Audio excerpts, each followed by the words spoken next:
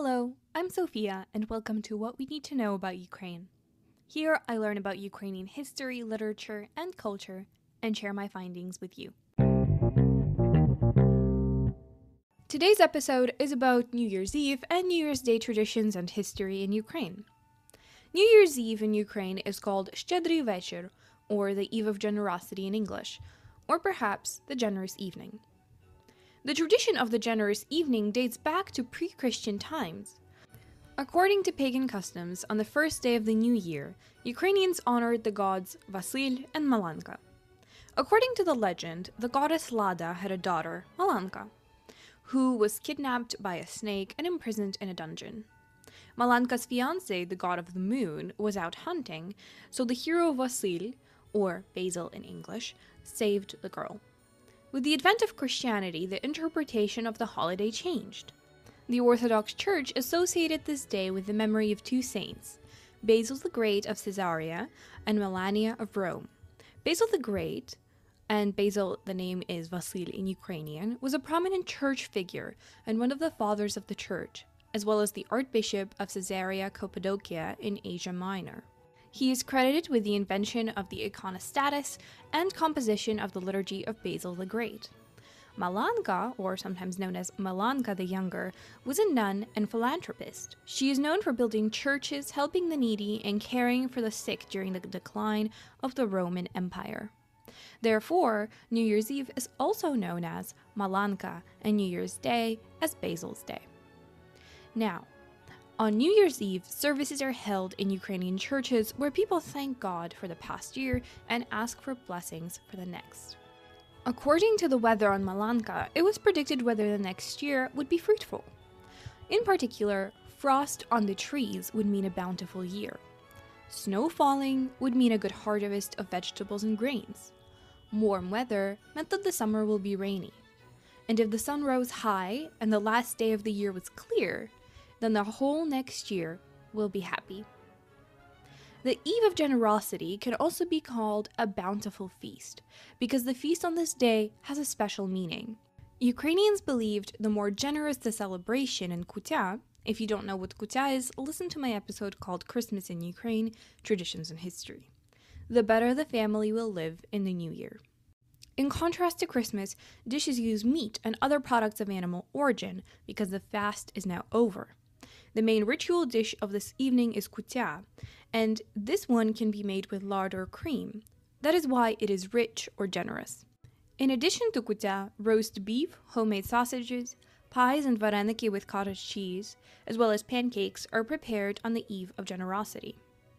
The pancakes, I mean crepes, or as Ukrainians call them, mlyntsi. Birds and fish are not served so that happiness does not fly away or swim away. The whole family sits down at the New Year's table. Everyone should be neatly and festively dressed, because dirty or untidy clothes are considered a bad sign. Before starting dinner, the family prays and thanks God for health and well being. Then everyone tastes the kutya and starts dinner. There is a legend that even the animals talk on New Year's Eve, but you cannot eavesdrop on them, so the owner has to treat them to some food from the table. Ukrainians also baked special ceremonial bread. When the woman began to knead the bread for baking, she went without washing her hands with her husband to, quote, frighten the trees that did not bear many fruit in the past year. At the same time, her husband took a stick or an axe, approached the tree, knocked three times on the bark, and said, If you don't give fruit, I will chop you down, but if you grow lots, I will respect you. The wife had to answer for the tree. Don't cut me down, I'll still be useful to you. And after that, she wiped her hands on the tree bark. After the feast, it is customary to ask each other's forgiveness in order to live peacefully and in harmony in the next year. And young people traditionally get dressed and sing Shchedrivky. What those are, you'll find out shortly. People would also drive away all evil spirits and congratulate everyone on the new year.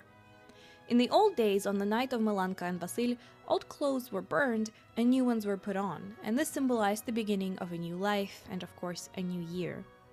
At that time, unmarried girls traditionally did fortune telling. Moreover, on the 31st of December and the 1st of January, men traditionally go to propose, so at this time, unmarried girls can expect suitors. This is also a time when they can propose again and maybe get a second chance if they were previously rejected. The rites of the generous evening end with the burning of the didukh, a decoration made of wheat, which is placed in the corner of the house on Christmas Eve.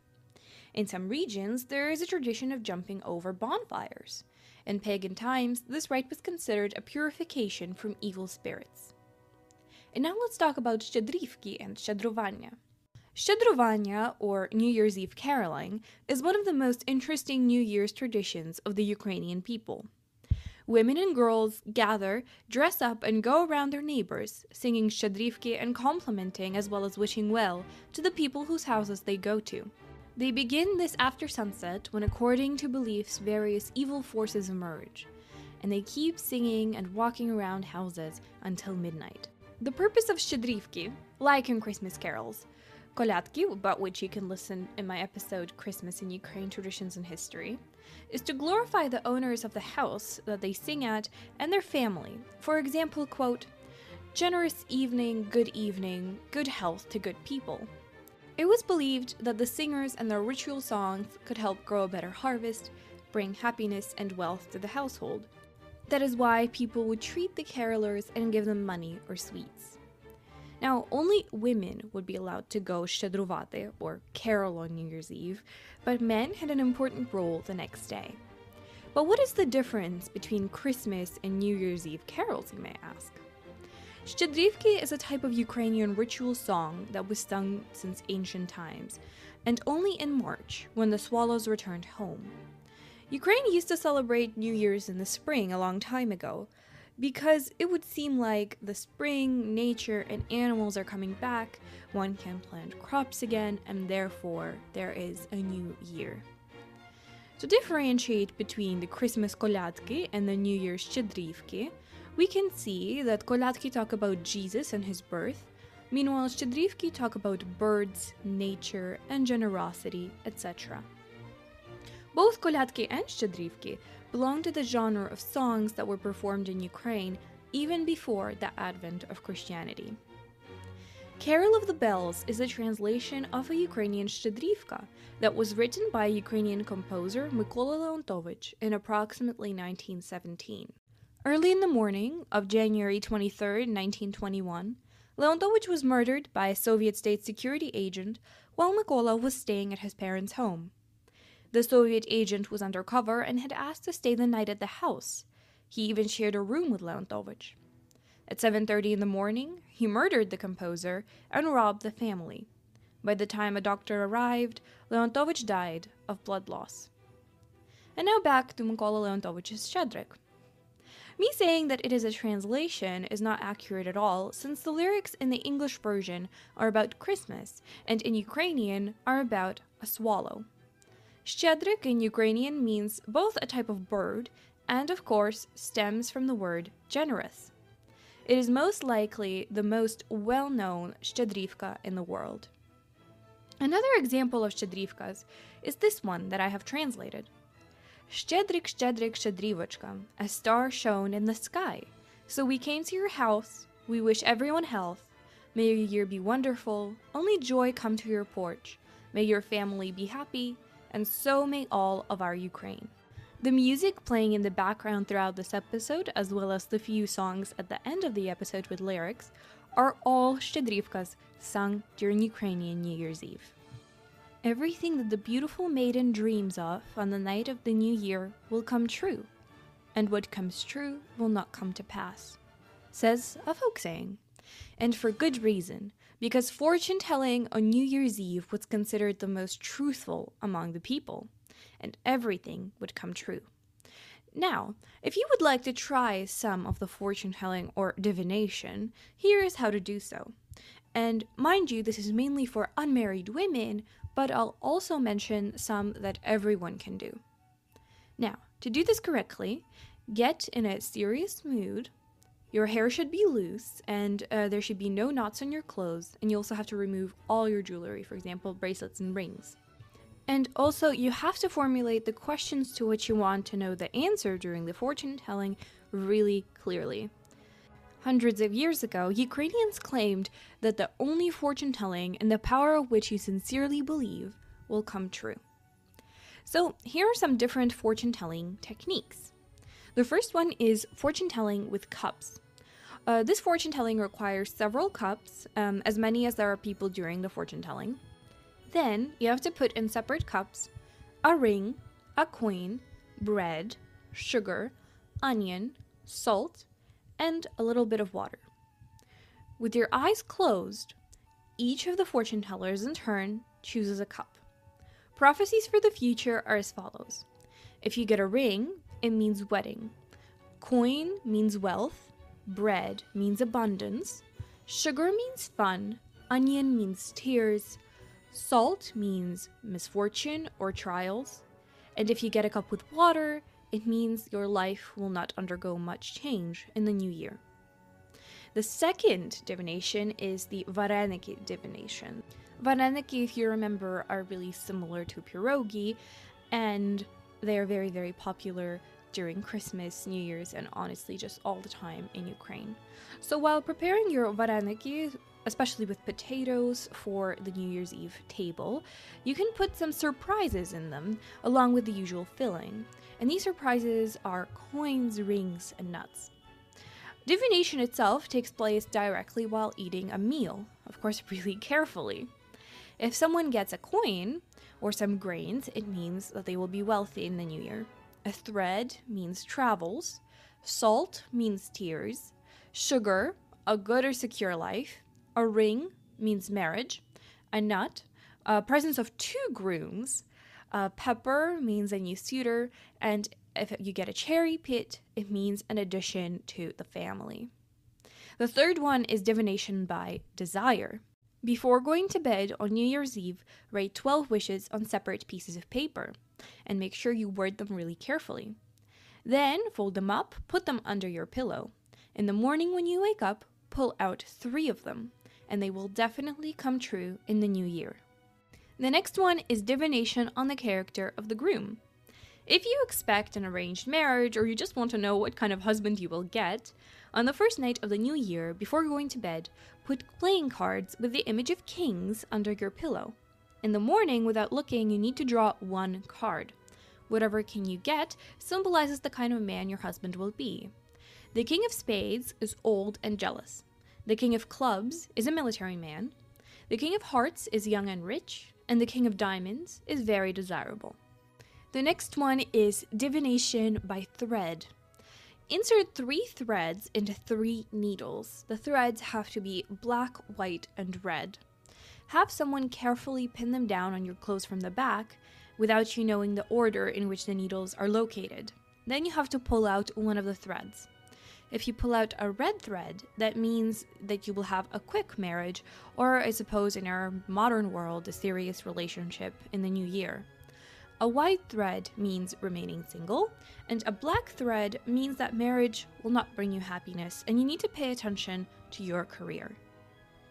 Number six is divination on grains, and this is the last one. You have to place small bowls with different grains in a circle buckwheat, millet, rice, semolina, oatmeal, pearl barley, and pour water into another bowl. The girls will take turns spinning a raw egg in the center of the circle and see to which bowl the egg will roll. If to buckwheat, the groom will be rich. To millet, he will be blonde. To rice, he will be married. To semolina, the groom will be from the north. To pearl barley, the groom will be a military man. Water means that the girl will be traveling, and if the egg spins in place, it means that the girl will not be married this year. A separate large scale tradition of the Eve of Generosity is a party with traditional dressing up as animals and folklore characters, a mystical rite carnival. According to an ancient legend, Malanka was transformed into a goat to be saved from demons. The pagan Malanka, that is. The goat also symbolizes wealth, happiness, prosperity, health, and other wonderful things. The quote unquote walking of the goat Malanka is one of the most fun rites. New Year's carolers would accompany the goat. which boys would often be changed into this goat and try to headbutt the owners when they came into their house to carol. According to the ritual, a goat was killed and then it had to be revived with songs and jokes. But the goat, as befits a domestic animal, never went alone on these holidays. It was led by a crowd of dressed up goat breeders who went from house to house singing shchedrivky and playing small shows.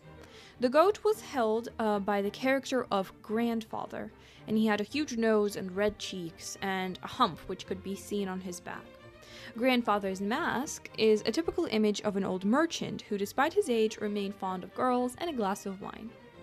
Since the time of the Kievan Rus, the main masquerade characters were totemic animals bear, cow, wolf, fox, cat, etc. The culmination of Malanka actually is usually the struggle of bears for the title of the strongest.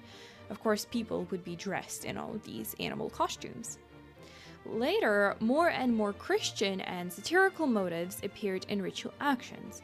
People started to stage improvised plays mocking the shortcomings of society. Among other characters, old woman, pub owner and his wife, priest the drunkard, young man, monk, young woman, Cossack, devil, soldier, policeman were present. Of course, all these shows and characters required costumes. Traditionally, carnival masks were made from leather, paper, papier mache, flour, glue, and starch.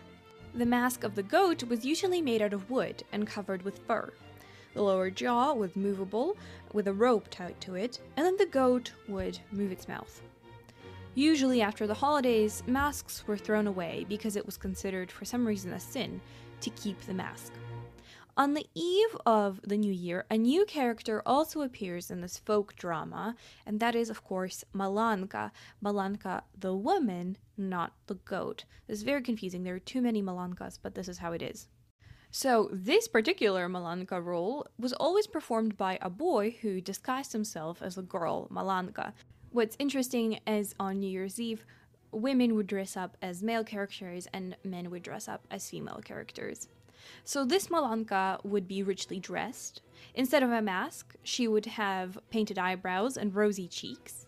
In her hands, she would hold a spindle or a broom or a doll or some kind of attribute of a woman. And Malanka would be a very horrible housewife. So, according to the script, the boy would parody women's activities, doing everything really awkwardly and backwards and just poorly uh, to make it funny. Malanka also, of course, has the companion Vasil, who saved her in the um, pagan story. And next to them would be Grandma and Grandpa, which would be symbolizing the experience of generations. And of course, together with them, there would be other festive characters. They would mostly be divided into the good characters that would dance, sing, and usually not wear any masks, and of course, the bad, the impure, the evil. And they would joke around, make fun of others, and they will always wear masks. Traditionally, while walking around to all the houses, Malankas added wishes for family happiness to the usual wishes for health and prosperity, and of course they would sing shchedrivkas with everybody else. The entire processions of dressed up people, with the goat and Malanka being the most important, walked through the streets, entertaining passerbys and doing all kinds of pranks, as well as wishing everyone Happy New Year. The next day is January 1st, or Basil's Day, both the saint and the pagan god. On January 1st, it is believed that this evening a generous god descends from the sky, inspects the entire household, and enters the house. In pre Christian times, Ukrainians would bake an entire pig to sacrifice to Basil, who was considered the patron saint of this animal. Then he gave the family wealth and happiness. It is also possible to prepare various dishes from pork, like holodets, sausage, and sala, etc. But the most important ritual happens in the morning, and it is sowing, since remember, New Year's used to happen in the spring, and it is highly associated with agriculture. It is also customary to sow, meaning to scatter grain on the floor in people's houses. So, early in the morning on the new year, men, not women, went to neighbors, relatives, and friends to sow grain in their houses. To do this, they scattered wheat, oat, barley, rye grains around the house and in the house, and they said, For luck, for health, for the new year. This custom had ritual significance, since it was believed that it brings prosperity, happiness, and wealth to the family. It is considered a very good omen if a man crosses the threshold of the house first in the new year. The timing of the sower's arrival is also important. The one who arrived first was usually given special attention. They say that the first sower brings happiness to the house. All the sowers were given a monetary reward, part of which is given to the church. It is important not to throw away the sown grain. It should be collected and stored. In the village, for example, grain is stored until spring um, or until it is time to sow and mixed with other grains for the real sowing of grain and seeds in the ground. This rite is popular throughout the territory of Ukraine. It is widespread both in the west and in the east. It is also interesting that there is a tradition of sowing among other Eastern Slavic countries, for example, in Poland, Belarus, and Slovakia. But when Ukraine was part of, and one might even say occupied by the Soviet Union, New Year's was completely different. The Soviet New Year celebration was a substitute of Christmas since religion was banned. People would have a large feast, invite friends and family, and stay up long past midnight. The Christmas tree was called the New Year's tree, and a man who looks kind of like Santa Claus uh, was called Ded Moroz, meaning Grandfather Frost, and he was the one who brought children presents under the tree, which they opened at midnight on New Year's. Now, Grandfather Frost was also a Soviet invention based on folklore and fairy tales that had really nothing to do with the holiday. The man who came up with the character was Pavel Postyshev, a man whose face was frequently used as the face of Grandfather Frost on children's drawings in the 1930s and 40s. Postyshev was also one of the key people in enacting the 1932 33 Holodomor, which was a genocide of Ukrainians and which killed millions of them. That's some food for thought. This holiday of the New Year the Eve of Generosity is one of those that form the identity of the nation, along with Christmas and Easter. Singing Shchedrivky, having masquerade performances and a special feast, as well as performing magic and communicating with spirits, is all that makes Ukrainian New Year a rather unique and complex mixture of pagan, Christian, and simply Ukrainian.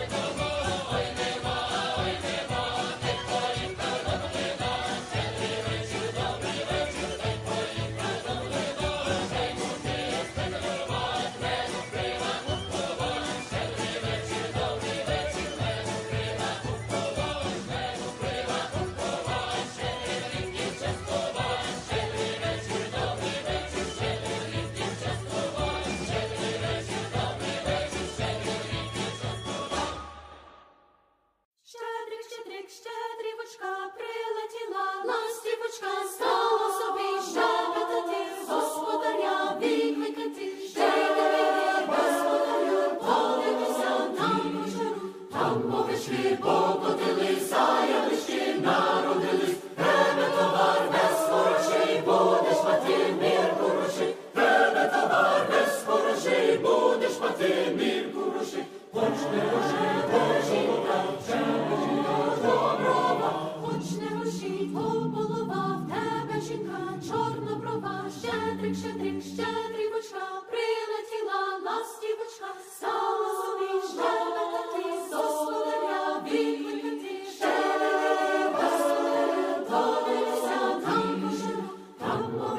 Покотили заянички, народились, тебе товар без хороший, будеш на ти блін хороший.